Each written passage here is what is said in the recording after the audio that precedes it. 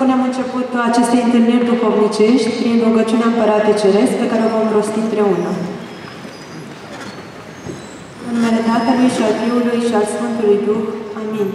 Împărate Ceresc, Mângâietorule, Duhul adevărului, care pretutindene ești pe toate le primești, Misterul bunătăților și dătătorule de viață, vino și te sărășuiește într noi și ne curățește pe noi de toată întinăciunea și mântuiește bunurile sufletele noastre. Slavă Tatălui și Fiului și Sfântului Duh, și acum și pururea și în vecii vecilor. Amin. Doamne miluiește, Doamne miluiește, Doamne miluiește, Preacucernice Părinte binecuvântați.